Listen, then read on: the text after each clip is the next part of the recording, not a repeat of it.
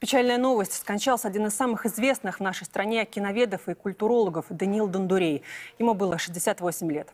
Дондурей родился в Ульяновске, окончил факультет истории искусств Академии художеств в северной столице.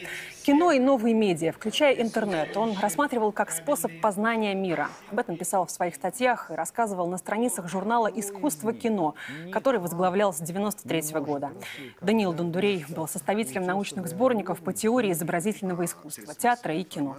Работал в Совете по развитию гражданского общества и правам человека при президенте, где возглавлял постоянную комиссию по культурным правам, образованию и науке. В прошлом году был удостоен премии Ника за вклад в отечественный кинематограф. Мы этим занимаемся.